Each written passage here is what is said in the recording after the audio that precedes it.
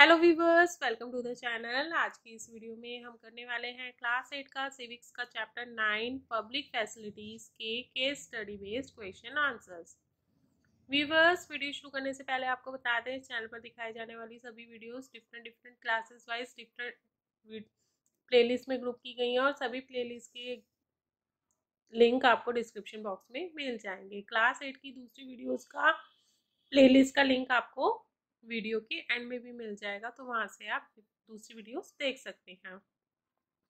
तो चलिए शुरू करते हैं हमारी आज की video. Public facilities relate to our basic needs and the Indian constitution recognises the right to water health education etc as being a part of the right to life. Clear? Thus one of the major role of the government is to ensure adequate public facilities for everyone. Clear? Now let's discuss question answers based on this passage.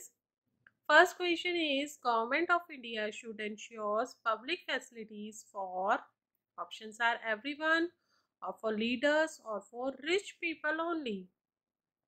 Answer is everyone. Government should ensure public facilities for everyone.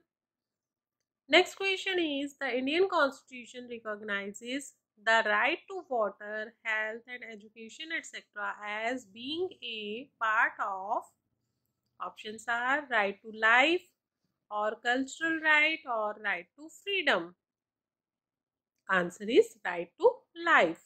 Indian Constitution recognizes public facilities as right to life because these are the basic needs for a living. Next question is the Constitution of India guarantees the right to education for all children between the ages of options are 8 to 14 years or 7 to 12 years or 6 to 14 years.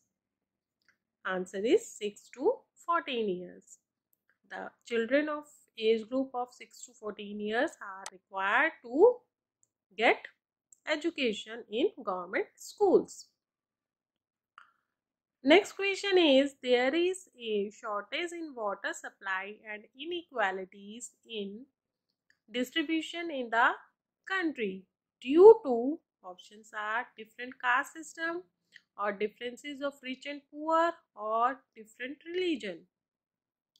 Answer is differences of rich and poor. There is a lot of difference between rich and poor people. So rich people can manage the water by buying the water from the market while poor people could not manage it.